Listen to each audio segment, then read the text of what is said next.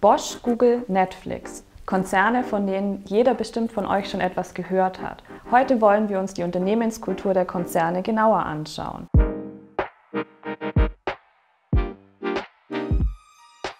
Was sind Beispiele für Organisationen mit einer starken Unternehmenskultur?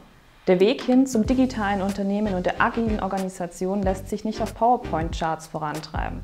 Um erfolgreich zu sein, muss sich die Unternehmenskultur ändern. Doch diese lässt sich nicht einfach verordnen. Bosch, Google und Netflix haben es erfolgreich geschafft, die Mitarbeiter in den Kulturwandelprozess mit einzubeziehen und eine offene Unternehmenskultur aufzubauen. Und damit herzlich willkommen hier bei Berg und Macher. Wir sind Organisationsentwickler und geben euch in unseren Videos Einblick in die Themen agile Organisationsentwicklung und Unternehmenskultur.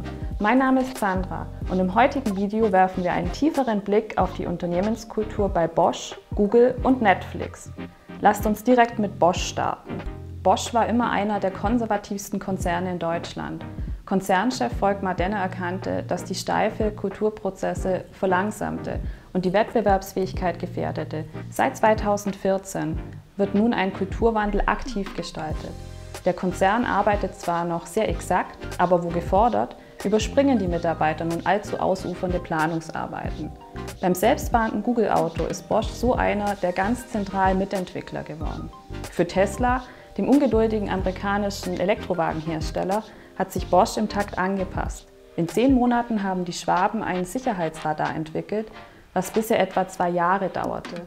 Wichtige Unternehmensthemen werden rechtzeitig und offen kommuniziert. Das schafft die Basis für eine vertrauensvolle Zusammenarbeit. Googles Unternehmenskultur steht für Startup-Feeling, Selbstbestimmung und ausgefallene Büroräume, einen starken Fokus auf Innovation und eine tolerante Fehlerkultur. Der Tech-Gigant aus dem Silicon Valley experimentiert kontinuierlich mit der eigenen Google Culture. Und das mit Erfolg. Das Unternehmen hat die Liste Fortune's Best Companies to Work for sechs Jahre in Folge angeführt. Auf Glassdoor hat das Unternehmen eine Bewertung der Kultur und Werte von 4,6 von 5 Punkten.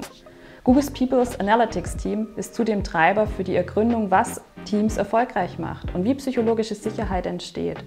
Mehr zum Projekt Aristotle erfahrt ihr in unserem Video Agile Organisation, welches jetzt oben eingeblendet ist. Laut Laszlo Bock, dem ehemaligen HR-Chef bei Google, ist die Google-Unternehmenskultur geprägt von einer großen Bereitschaft zum Ausprobieren, Nutzerzentrierung, eine Umgebung, in der sich die Angestellten selbst herausfordern, sich neue interessante Dinge einfallen zu lassen. Die Netflix Culture Präsentation zählt zu den populärsten Präsentationen, die je auf Slideshare veröffentlicht wurden. Über 15 Millionen Views und mehr als 100.000 Downloads haben die Folien bis dato gesammelt. Die 124 Slides zur Netflix-Unternehmenskultur, die Gründer Reed Hastings und Chief Talent Officer Patty McCord entworfen haben, zählen zu den wichtigsten Dokumenten, die das Silicon Valley hervorgebracht hat. Netflix Culture ist sowas wie die Bibel der Unternehmenskultur. Diese verhalf dem einstigen DVD-Versandhändler zu einem der größten Innovatoren der Broadcasting-Branche zu werden. Für Netflix war klar, dass nur Vertrauen in die Mitarbeiter dazu führen würde, dass diese sich mit vollem Potenzial einbringen. Selbstständigkeit und Verantwortungsbewusstsein waren hier die obersten Gebote. Unser Expertentipp ist daher, an folgenden Stellschrauben zu arbeiten und diese zu hinterfragen. Beim Thema Vision gibt es eine gemeinsame Vorstellung vom Sollzustand zu Organisation und Struktur. Wie soll die Organisationsstruktur in Zukunft aussehen? Was soll sie ermöglichen? Was soll sie fördern? Bei den Themen Führung und Verantwortung, was muss sich im Bereich Führung, Verantwortung und Entscheidungsfindung verändern? Und beim Thema Teamarbeit, wie sollen die Teams in Zukunft zusammenarbeiten?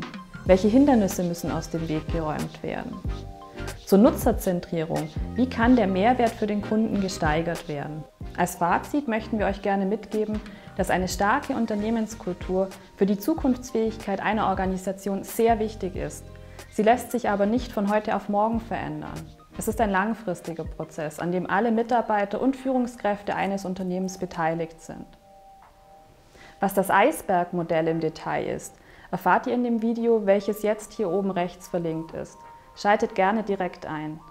In diesem Sinne, vielen Dank und los geht's! Jetzt seid ihr Macher gefragt. Wir wünschen euch viel Erfolg beim Gestalten eurer Unternehmenskultur. Servus!